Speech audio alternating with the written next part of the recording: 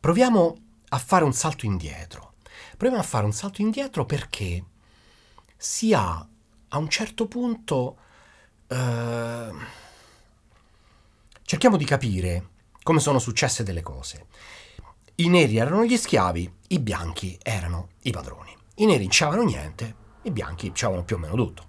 Se non c'avevano niente, come hanno fatto a, no, a fare tutta questa musica? Questa musica nasce da molto prima in realtà. Eh, le work songs, le canzoni di lavoro erano quelle che accompagnavano il lavoro nei campi. Il lavoro nei campi era eh, scandito, il ritmo del lavoro dei campi era scandito da, da canzoni di lavoro, appunto, da cui, no? Work songs, le field, i field haulers, tutte le, le varie cose, insomma, ehm, la, la, musica che, che, che, le canzoni che cantavano, insomma, beh, è stato un processo molto lungo, sai, ci sono voluti centinaia di anni, non è che si sono svegliati una mattina e hanno inventato il blues. Questa musica, come, dici, come dicevo all'inizio, proprio all'inizio inizio della, della, del ragionamento, è una musica che nasce dalla sofferenza di un popolo. Queste canzoni nel tempo sono diventate, per esempio, fra le altre cose, un po' una forma di socializzazione, quindi no? stare tutti insieme, gli è stato permesso di avere degli strumenti, e sono diventate anche una forma di comunicazione, fra di loro soprattutto.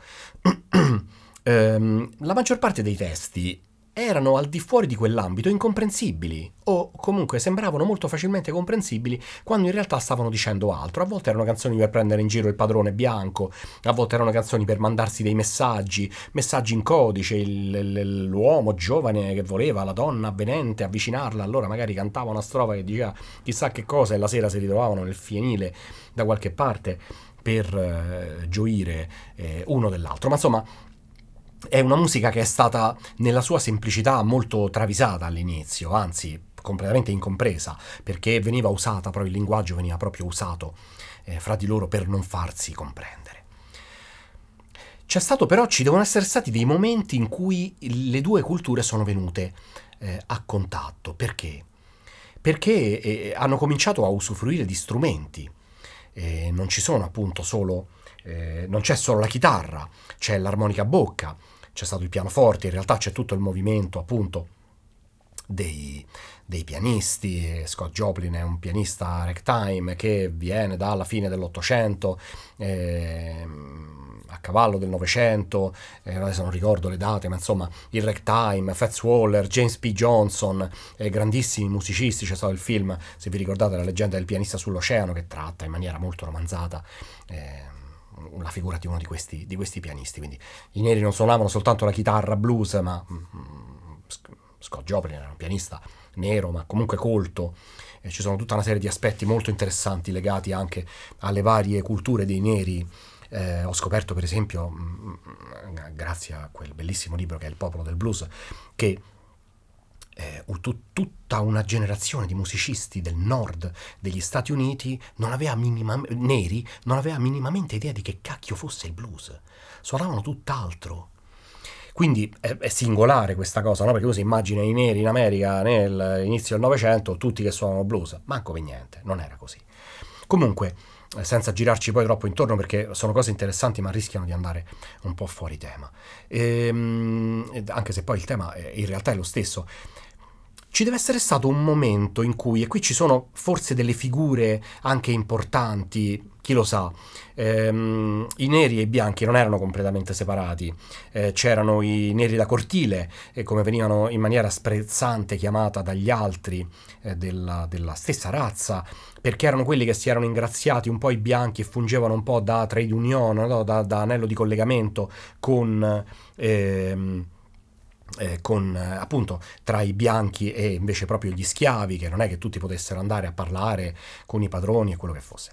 Quindi alcuni di loro eh, avevano accesso alle case, avevano accesso magari ai salotti, a volte avevano accesso a qualcos'altro, insomma i Greoli e i Medici sono nati in qualche modo, bastava un nero e una bianca, figlia del fattore, del proprietario terriero che è Calla, che è nata una generazione di colore diverso. Non ci vuole granché, eh, per fortuna. Eh, però Mm, quello che ci interessa invece è come sono arrivati agli strumenti, perché questi sono arrivati dall'Africa privati completamente di tutto, non avevano più nulla, ci sono comunque delle cose interessanti perché la deportazione dall'Africa è continuata per secoli. Per esempio il banjo è uno strumento africano, banjo strumento, uno degli strumenti principi della musica dei razzisti bianchi che suonavano la musica soltanto dei bianchi, in realtà è uno strumento africano, è pelle di animale tesa con le corde di budello, di qualche cosa, no? Quindi strumento assolutamente di derivazione africana. E invece è uno strumento proprio dei neri, come fa, de, de, era uno strumento dei neri che però è stato poi diventato strumento principe dei bianchi. Eh, mentre, anche se poi ci sono testimonianze di, eh, assolutamente, soprattutto all'inizio, eh, di neri che suonavano quello strumento, ma eh, di registrato purtroppo non c'è eh, quasi niente, eh, se non niente. Per esempio una cosa che mi ha sempre fatto ridere è che l'armonica bocca, che è forse lo strumento più evocativo eh, del, del, blues è austriaca, è austriaca di Hitler, Hitler è nato in Austria, quindi nel paese che ha dato vita ai, ai natali all'uomo più razzista della storia eh, ci sta eh, il, la nascita anche dello strumento armonica bocca che poi è esportata in qualche modo eh, in, in in America eh, diventa invece uno strumento, probabilmente anche lì per no, la piccolezza dello strumento, la facilità di riporre in un taschino, nascondere nei pantaloni, entrare una scarpa, che ne so. Quindi probabilmente no, la, la semplicità di avere quegli strumenti. I neri però hanno accesso anche alle chitarre, eh, perché poi la chitarra appunto diventa lo strumento che è probabilmente il collegamento con la musica moderna che ci darà modo di fare anche diverse riflessioni. Io sono chitarrista, sul mio canale si parla di chitarra e Chiaramente alcune delle cose sono eh, legate a quello, anche se poi penso che i temi più generici possono essere interessanti così anche semplicemente per discorrerne. Ma insomma, ehm, l'armonica a bocca e la chitarra sono quei due strumenti, diciamo, ci sono tracce di violino, banjo, di altri strumenti suonati, però poi chi la fa da padrone veramente è la chitarra. Da dove viene questa chitarra? Questa chitarra probabilmente viene dai salotti delle case dei ricchi bianchi. I bianchi suonavano molto spesso anche le, le, le, giovani bianche suonavano le chitarre acustiche. Bisogna ricordare che le chitarre acustiche nell'Ottocento erano chitarre probabilmente classiche di forma molto piccola, c'erano le cosiddette parlor quelle che noi oggi conosciamo come parlor erano chitarre piccole, un po' perché non erano state inventate le chitarre grandi, quindi c'erano solo quelle piccole, un po' perché probabilmente erano più facili da maneggiare, ma, ma comunque quelle grandi non ci stavano, quindi maneggiavano per forza quelle. Eh, quelle chitarre erano suonate e qui bisognerebbe, cercherò di essere, eh, di non fare il dottor divago come al solito, ma di mantenermi in un campo un po' più ristretto. Quelle chitarre mh, erano già strumenti piuttosto popolari, bisogna ricordare che la chitarra in Europa era uno strumento che aveva già una sua letteratura a quel punto. Alcun, quello strumento portato però in America, l'America non, non, beneficiava probabilmente di quella stessa cultura in quel momento storico, soprattutto al sud, non credo che fosse arrivata così. E, um, quelle chitarre venivano già suonate e, e, c'erano dei brani che erano molto conosciuti. Allora proviamo a fare dei piccoli collegamenti. per esempio nel blues, questa è un'accordatura di Re aperto si usavano l'accordatura di Re aperto detta Vestapol perché era abbinata probabilmente a un brano che è molto famoso che era la battaglia di Sebastopoli, Sebastopol, Vestapol, che era suonato in una certa accordatura che era probabilmente questa. E c'era l'altra accordatura che viene chiamata la Spanish Tuning, che è l'accordatura di Sol aperto, quella che suona Keith Richards dei Rolling Stones, con cui ha scritto Start Me Up e un sacco di altri pezzi che viene chiamata Spanish Tuning perché in quell'accordatura di Sol aperto venne scritta Spanish Fandango.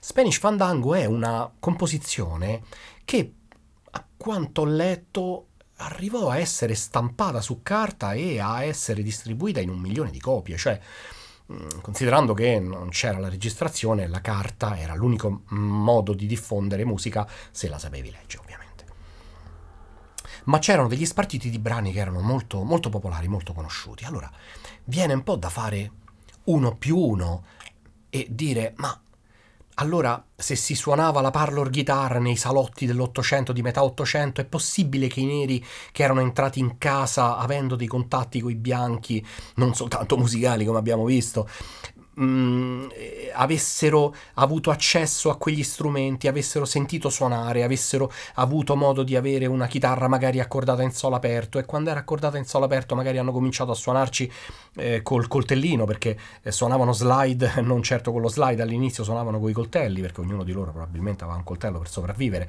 ma comunque anche per fare magari le attività normali per recidere le piante che coltivavano, che, che raccoglievano, e, mh, mm, suonavano con questo coltello che poi è diventato il bottleneck, il collo di bottiglia, la slide, insomma tutto quello che è successo. È possibile forse trovare un collegamento di quel tipo, quindi questa chitarra suonata nei salotti di quelle case dove loro erano schiavi, probabilmente i contatti c'erano, c'è chi dice che addirittura suonassero, si trovassero a suonare insieme bianchi e neri eh, a un certo punto. E, ehm, non lo sappiamo, non lo sapremo mai.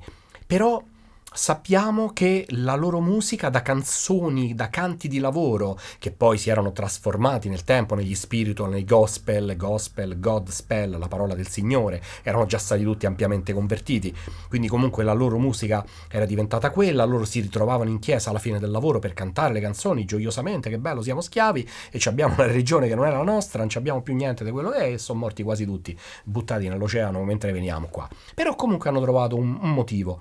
Poi dici perché avevano avevano blues? Eh, perché avevano blues? Eh, grazie al cavolo. Eh, perché con qua storia dietro solo il blues potevano avere. Però questo blues che tanta sofferenza ha provocato a loro, tanta gioia ha provocato a noi, perché come al solito delle sofferenze di qualcuno c'è no, qualcuno che beneficia e magari ci apro un altro capitolo.